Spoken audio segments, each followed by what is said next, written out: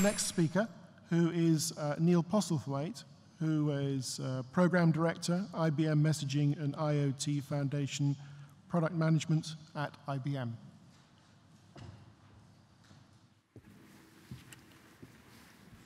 Thank you.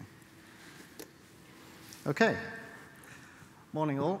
I'm sorry I can't see you at all. I'm completely blinded by lights coming in this direction. But um, delighted to be here today. Uh, I'll apologize for my voice in advance. I've got tonsillitis. I'm not feeling on top form. If I fall off the stage, if somebody could pick me up and put me to sleep round the back, that would be much appreciated.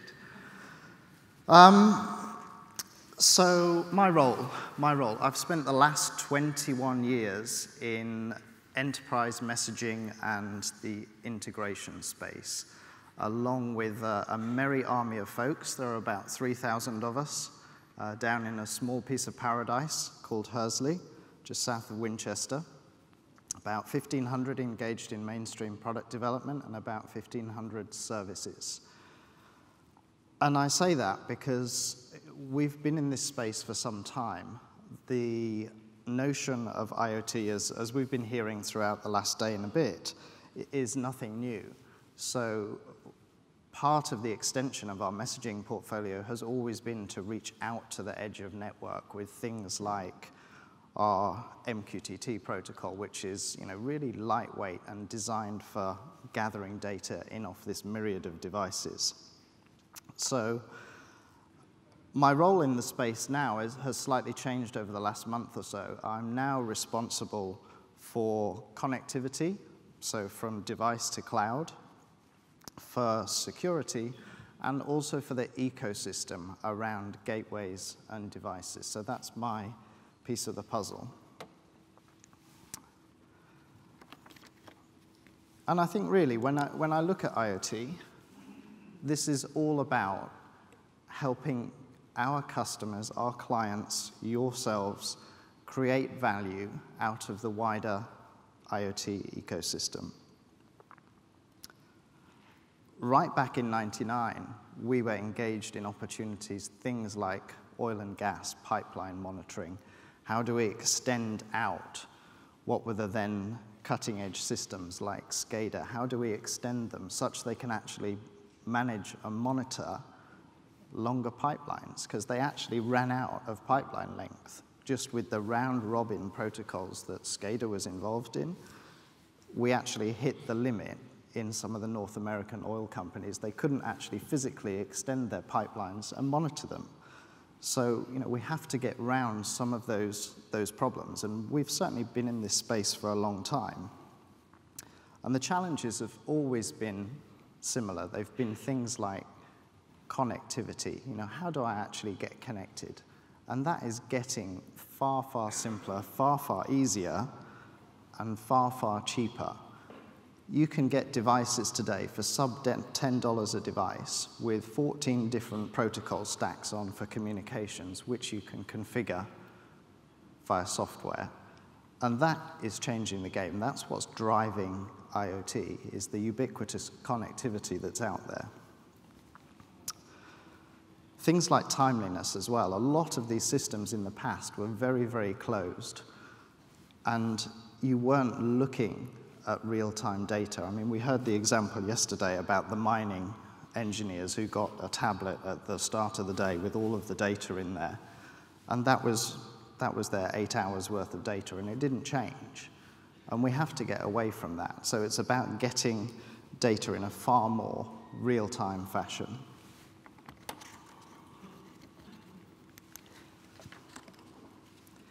Anybody recognize this one?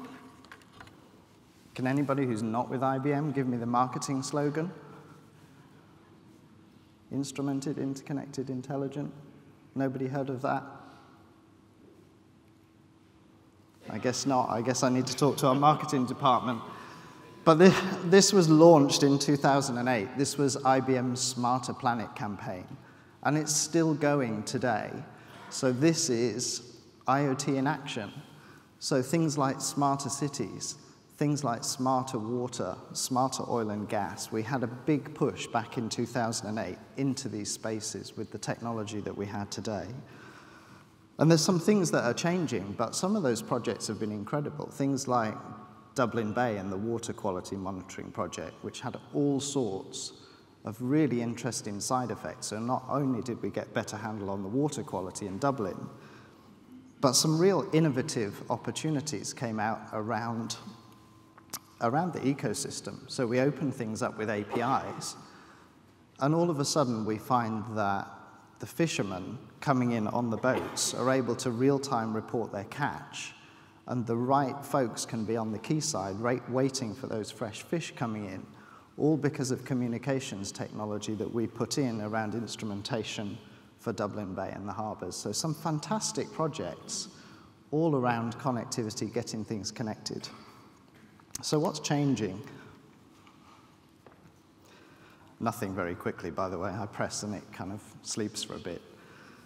Um, so data. So I, I think of this um, in three ways. So data, cloud, and engagement. So data, data is where the value is. Data is where we can really create business opportunity and actually drive competitive advantage for our companies is getting the data in off of these devices. And that's changing the game.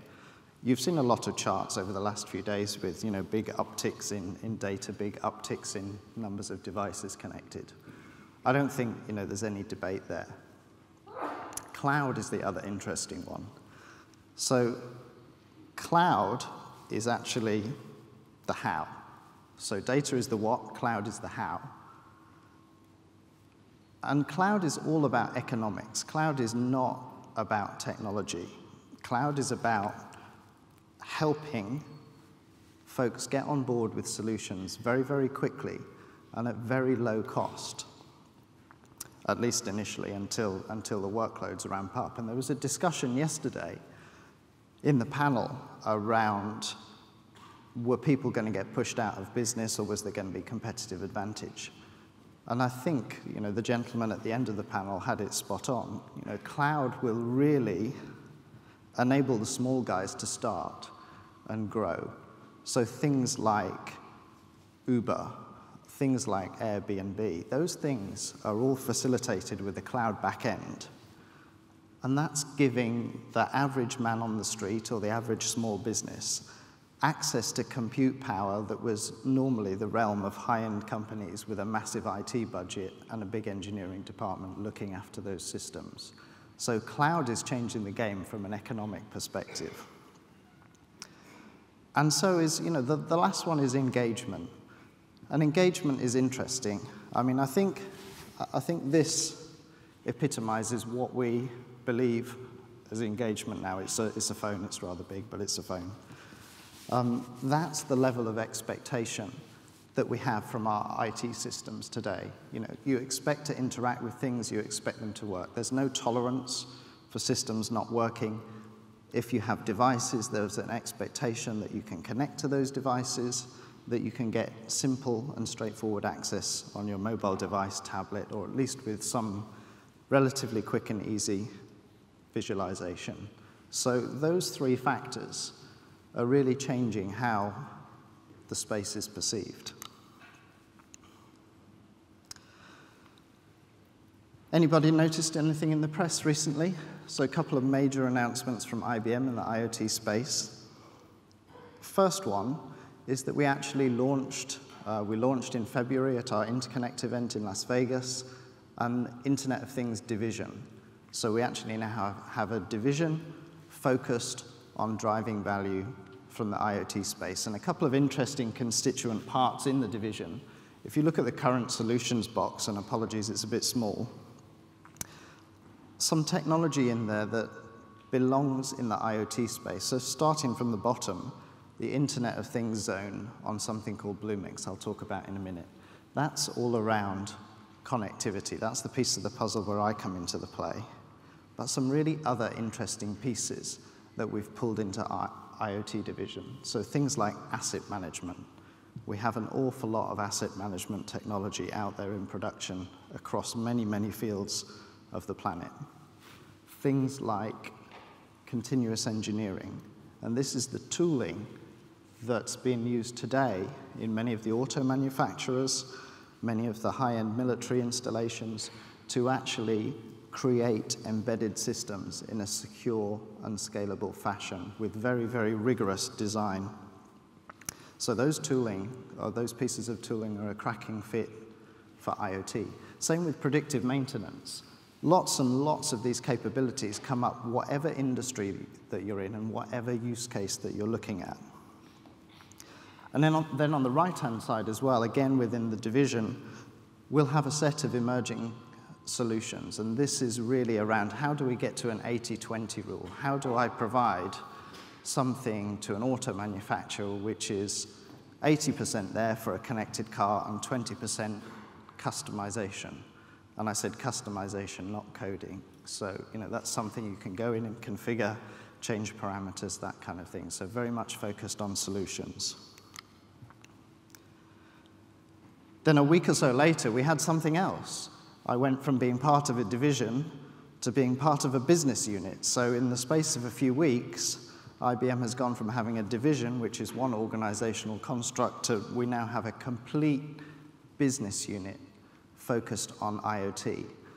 And if you look at where that business unit is in the IBM Corporation, it's in the analytics area. And there's absolutely no debate as to why that is. When push comes to shove, Internet of Things is about the data, and it's about how do you get value from that data. So, you know, we've landed in the analytics division. That's absolutely the right place. So big focus on IoT. Some interesting partnerships as well. So partnership with the Weather Company. Weather Company is, is an amazing outfit. They started doing TV weather in the US.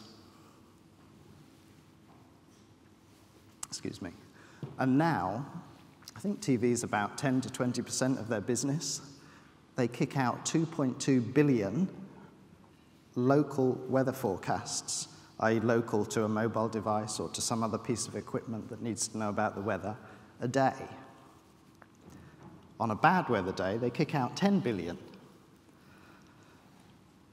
And they've done that through APIs and exposing data through APIs and they're gathering data from hundreds of thousands of sensors on all sorts of things. It's no accident that if any of you flew in transatlantic, you had a less bumpy flight than you would have had 10 years ago. And that's because pretty much every plane that's up there has its own set of weather instrumentation in the front of the plane, and it's monitoring what they call the wave oscillations of the jet stream and the flight paths are dynamically altered by the airlines in conjunction with the likes of the Weather Channel, um, the Weather Company, sorry, I shouldn't say channel, um, actually feeding them proactively that weather information. So that's great IoT use cases. But it doesn't stick with aviation. You know, they, they, they were on stage with us in New York a few weeks back, and I think my favorite use case, it's a bit bizarre, but apparently on rainy days, ladies like to buy hair products. So there are a whole set of stores in the US.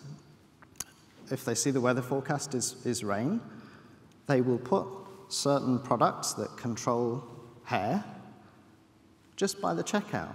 And they have a massive peak of sales on these wet weather days. So, you know, interesting retail use case. Doesn't really apply to me, there's not much up top, but.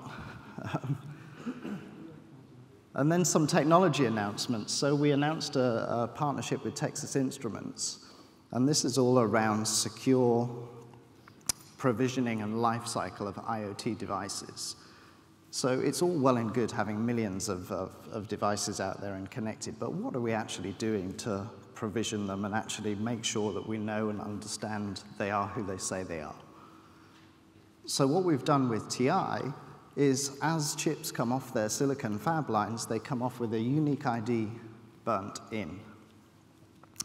That ID can register itself with our secure cloud service, and it, you know, that device then has its entire life cycle managed. You know, from the moment it's built into a washing machine to the moment I buy the washing machine, to the moment I sell it on, and to the moment it's eventually scrapped that device ID can be trusted. And that's something that we're opening up to other cloud providers and also to other silicon providers. So I think, you know, I'll talk about it in a minute, but IoT is most definitely an ecosystem play. Come on. Excellent. Right. So, Bluemix. Anybody heard of Bluemix? Hands up. Bluemix. One. Can't see any more. I'm blind. Oh, there's a few. Good. Anybody heard of SoftLayer? A few more. All righty. So, this is the kind of technology that we're building on for our cloud-hosted solutions, and this is a bit of a cloud session. So, Bluemix is our platform as a service. I'll talk about it in a moment, but think of it as a set of services which save you actually doing the effort of standing them up. So you might want a database. You know, you don't want to put a rec in, have the system administrator disappear off, and then three or four weeks later you have a have a database, you want a database within a few seconds. So, you know, that's the idea of platform as a service, is stand up services very, very quickly uh, and very, very cheaply. Next layer above is some kind of componentry that is working at a higher level. So you might want a predictive maintenance service or some kind of asset management service. And then at the top level is the industry solution. So that's the, the tiering where we're building out IoT. And then on the left-hand side, ecosystem, things like standards and consortia will become more important over time. It's a little bit like the Wild West out there now, um, candidly. You know, there's another consortia that pops up every five minutes. It's because we're in an emerging market state. That state will change, and I think a few standards and a few consortia will, will win over. But for the moment, it's a very interesting space. Three minutes, okay. All right, so Bluemix, platform as a service, really gives you a palette of services which you can use to stand up an application very quickly. All of the services on Bluemix have a free tier, so you can get going without actually paying anything. My cheapest price plan for the IoT Foundation service, which is all about connecting your devices in, is $20 a month. $20 a month from IBM. Come on, that has to be a bargain. But uh, yeah, it, it's just, you know, it, it shows you what kind of economics cloud can, can, can provide here. So our Internet of Things Foundation service is all about connecting very quickly and securely devices into the cloud. Connect, collect, and manage is, is the, the mantra that I have around that. And what that's doing is making the data that's coming off of all those myriad of devices available to the other cloud services running in Bluemix and allowing you to actually wire together visually those services with other services, and those services in an if this then that style with temperature thresholds and those kind of things. And it is all pay as you go SaaS pricing. You can sign up with a credit card and you get a monthly bill. We have an IoT zone, and the URL is at the back of this presentation. I'd encourage you all to go and have a look on bluemix.net and have a look at the IoT zone. Have a look at some of the examples that we've actually got up there. It's very, very interesting. It's very quick and simple to get started with. And when I say there's a lot of services on Bluemix, there are a lot of services on Bluemix. And every time I go and look at the catalog, there's more services. And what it's really important to understand is those services are not just from IBM, they're from all of yourselves. Pitney Bowes has stood up a location service. There are other community services and services from open source providers. This is acting as a marketplace for folks to actually stand up services and allow others to consume them. So there's a marketplace there, great set of services, all very interesting and useful for IoT applications. Everybody else has talked smarter cities and you know smarter this and smarter that. Uh, uh, this is my favorite use case at the moment. Who doesn't like powerboats? What's not to like about powerboats? It's exciting, right? And, and this is the Lucas Oil powerboat. It generates about a thousand data points a second off its engine and water cooling and this, that, and the other. We fire those up to the cloud.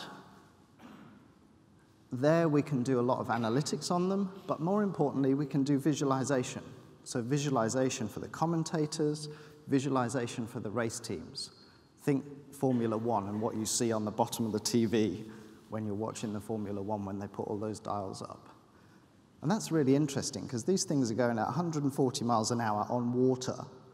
So it's really good for the team to be talking to the guy about the throttles and the dials and where everything is than him having to look at everything. Lets him focus on the water. But also, from a fan perspective, they can actually see what's going on. Because normally, power boats, you know, they're there for a moment and then they're four miles offshore. That's not very exciting. So, so instead of sat there with your binoculars, you can actually hold your tablet and see what's going on. The really interesting thing about this is not the use case. The use case is pretty sexy. I mean, it's pretty sexy. Power Powerboats are sexy. It took three weeks to implement this solution. Three weeks, start to finish, instrumented, hooked up to the cloud, analytics running. And it wasn't three weeks of 500 people. It was three weeks of two people in VirtualEye who are a visualization specialist down in New Zealand. It was a bit of my team helping in Austin and in Hursley, and one of our services guys. And they had a live project that was used in the November race done in three weeks. And now we're busy augmenting that to do th exciting things like vital signs and all those biometrics as well. But just remember that three weeks. That's the kind of difference cloud can make. All right, I'm going to wrap this up pretty quickly because I'm going to get told off in a minute. Um, ecosystem. This is really, really important in IoT. None of us can do IoT on our own. From an IBM perspective, we don't manufacture devices, we don't manufacture gateways, and we're not a telco or a low-power wide area network provider. We have to partner. And without those capabilities, there is no IoT solution. So we have a lot of partnerships on the device side, the gateway side, the network side, and also on the cloud side and the solutions and application pieces. You know, yes, we have solutions capabilities, but yes, we have an awful lot of GSIs and RSIs and other development partners who actually help out here. So IoT is an ecosystem play, and there's partnerships right across the board.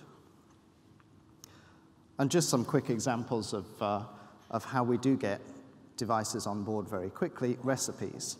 So we have recipes for connecting devices.